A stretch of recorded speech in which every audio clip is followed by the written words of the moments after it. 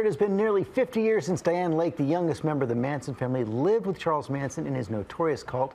And now she's breaking her silence in her first TV interview. That was with you, Amy. That's right. In fact, Lake chronicles her years with Manson in her new book, Member of the Family. And she talks about how she eventually helped put Charles Manson behind bars. His name has been synonymous with evil for nearly 50 years. Charles Manson, the cult leader who turned the summer of love into a season of killing, directing his followers on a murderous spree in the summer of 1969. Manson actually gave you all knives. Yes, he did. It's like he actually gave you stabbing lessons. Yes, he did. Is Charles Manson an inherently evil person? I think he was used for evil. And this may be his least likely family member, Dianne Lake. Today, she is a church going mother of three, but in the 60s, her parents were hippies when she met Charles Manson. And now she is telling her whole story in a new book.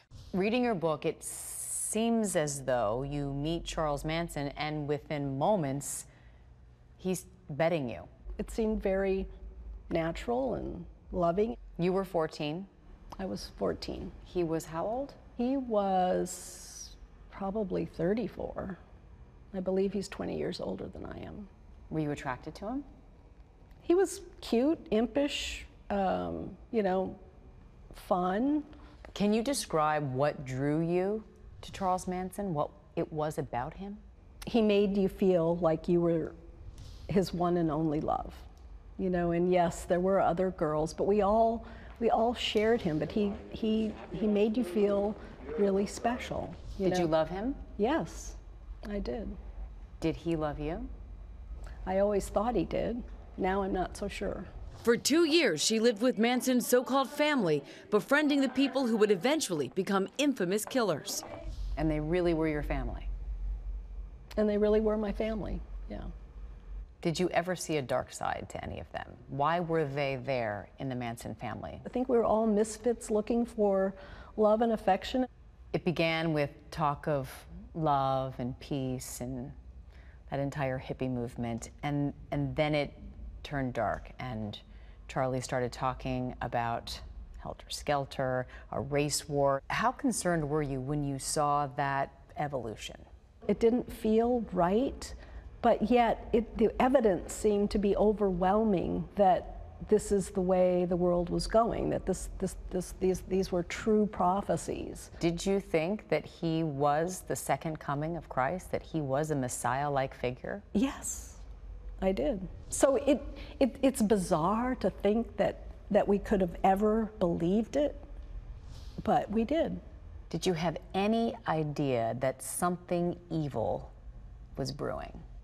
Not, not really within the family. She knew nothing, she says, of the plan to kill. And yet, over the course of two days in August of 1969, Leno and Rosemary LaBianca, Steven Parent, Abigail Folger, Wojciech Frykowski, Jay Sebring, and actress Sharon Tate had all been brutally murdered. And they gave you the gory details. They, I got gory details, and as I, what I remember is that they gave me the gory details with a certain amount of glee or almost like bragging. I mean, which just made me feel even worse. I mean, it, it was like, what? You ultimately sat in court looking right there at the man you worshiped, the man you loved, Charles Manson, and you testified against him. Can you describe how that felt? My biggest fear really was that I was going to succumb to that feeling of loyalty that I had had for him and that he was going to, you know, mesmerize me. But he didn't. The spell was broken. The spell was broken.